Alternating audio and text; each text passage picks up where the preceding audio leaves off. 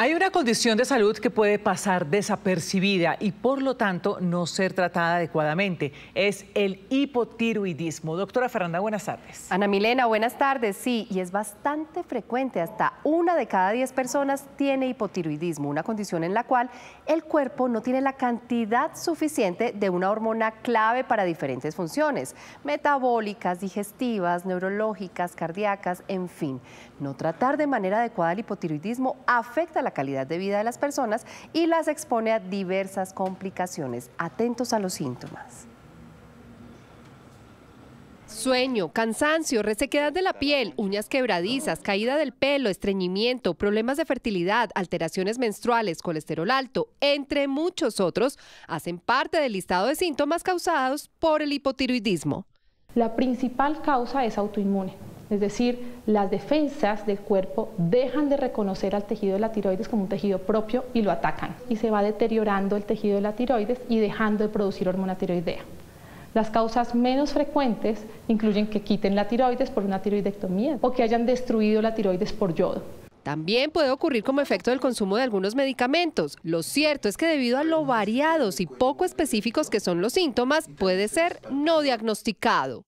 Muchas condiciones se parecen, es decir, las depresiones tienen síntomas muy parecidos al hipotiroidismo, aquellas personas que tienen eh, horas laborales muy largas, las deficiencias vitamínicas, la menopausia, entonces muchas personas deja de lado el estudio de la TSH y se enfoca en otros temas y deja de ser tratado por años. Por eso, ante molestias persistentes, antes de consumir suplementos o remedios caseros, se debe buscar ayuda médica para diagnóstico, el cual se puede realizar con una sencilla prueba de sangre.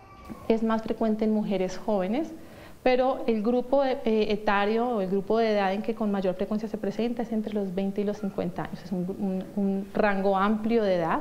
Sin embargo, la glándula tiroides empieza a deteriorarse con el tiempo, entonces vamos viendo que aquellas personas que ya tenían cierta condición de base empeora después de los 65 años. La doctora Jimena Mejía, endocrinóloga, docente y con especialidad en tiroides, explica que el eje del tratamiento es proporcionar la hormona producida por la tiroides para nivelar su déficit. Pero esto no es todo. Sin cambios en el estilo de vida no hay mejoría.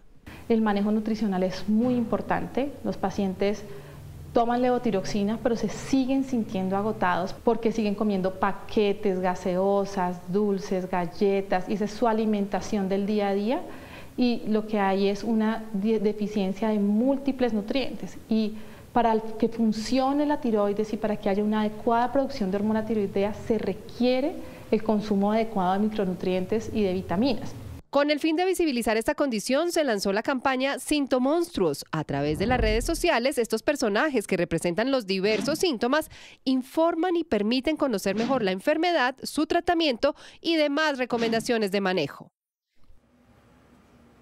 Quiero insistir en la importancia del tratamiento. Solo el médico debe definir si es temporal o de por vida, si hay que ajustar o no la dosis. Por eso son claves los controles y el seguimiento. Primero a las seis semanas de haber empezado la levotiroxina y después por lo menos dos veces al año. Y por favor, cuidado con suplementos que de yodo, de selenio y hasta, escuchen esto, tiroides de animales maceradas. Cuidado, lo único que están haciendo es exponiéndose a no tratar la enfermedad adecuadamente y a complicaciones adicionales.